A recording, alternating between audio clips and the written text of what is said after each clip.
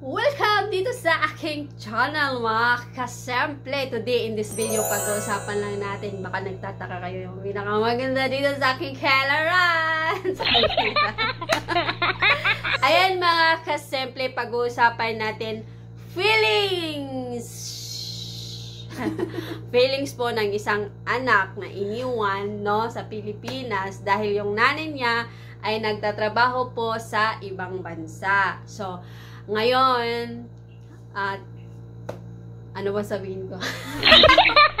Ngayon is, uh, grabing tense nito dahil kasi pag-uusapan natin ang feelings ng isang anak na iniwan ng ina dahil yung nanay po ay nag-abroad or nagpunta sa ibang bansa at nag-aalaga ng ibang bata. Okay? So, ready ka na?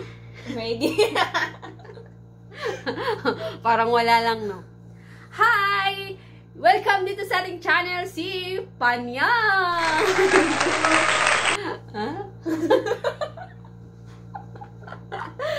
Ayan. Um, ngayon malalaman natin, mga kasimple, yung nararamdaman ng isang anak na iniwan siya ng nanay niya. Kasi yung nabalitaan ko is, 8 years ka? Nawala yung nanay sa'yo? nawala. nawala. Hinahanap. Ay! O, oh, ganun. Sige. Um, ano bang feelings na walang nanay? walang nanay. Naapa pero nasa layuan na lang. ah, sige. O, anong feelings po yung yung alam mo, yung nanay mo ay nagtatrabaho sa iba, nag-aalaga ng ibang bata, habang ikaw ay hindi naaalaga. Mahirap. Mahirap kasi... Ay, at volume nga.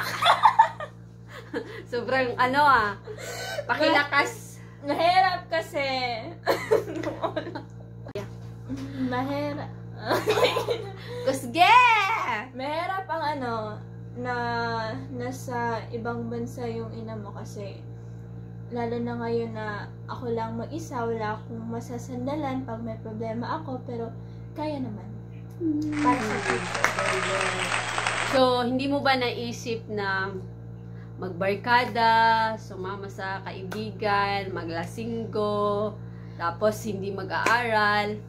Um, napapasok siya sa isip ko, pero may mga barkada ako, pero yung mga barkada ko is mababait at may magandang sten eh? intensyon sa buhay ko kaya hindi naman lahat ng barkada is masama, meron din mga mabuti at yung paglalasing na ganon, hindi ko pinapasok sa isip ko dahil gusto ko kahit nasa malayo ang ina ko, mapabuti ang buhay ko dito. Sana all! Um, hindi ka ba nagtatanim ng galit sa nanay mo? Hindi naman kasi ah, sanay na ako nung maliit pa ako. Grabe siya! Grabe, sanay talaga. Hindi naman kasi alam ko naman sa alam ko naman ang dahilan dahil para rin para rin naman sa akin yan. Char. Grabe. Ang bait. Bait, no? Okay. Um, ano ba pangarap mo sa buhay? Mm, maging ano, flight attendant. Kung hindi pa pala rin, maging business owner. Business owner. Oo. Owner nga business. O, wala yung business.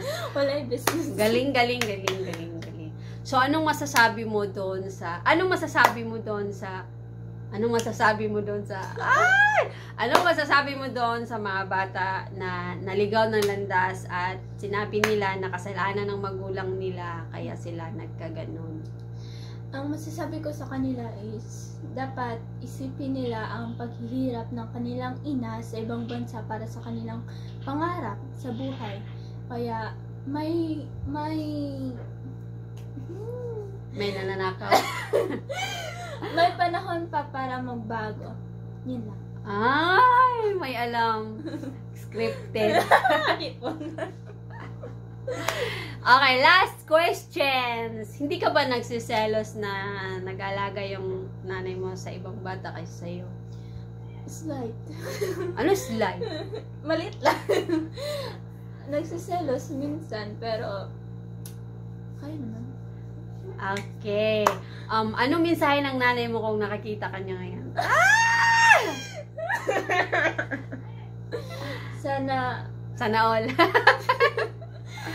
Sana maging, maging, Maging ano. sana, sana ano, Sana padalhan ko na. need ko na ng shopping. sana ano, sana padalaan ka na ngayon. Mm-mm, sana.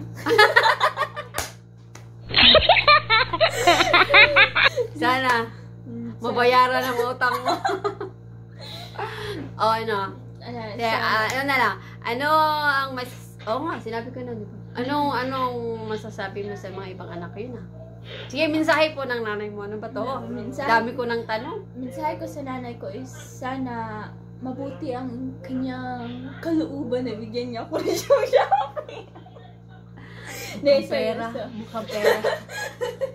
Seryoso. Sana ah, good health para sa kanya at mm, alagaan niya ang kanyang kalusugan kasi mas importante yun kaysa pera. Okay, yun lang. Okay! Palakpakan. Grabe talaga, no? Ang harap-harap sa buhay. Kaya, mag... Sa next video na naman tayo, guys! Bye-bye, mga kasimple!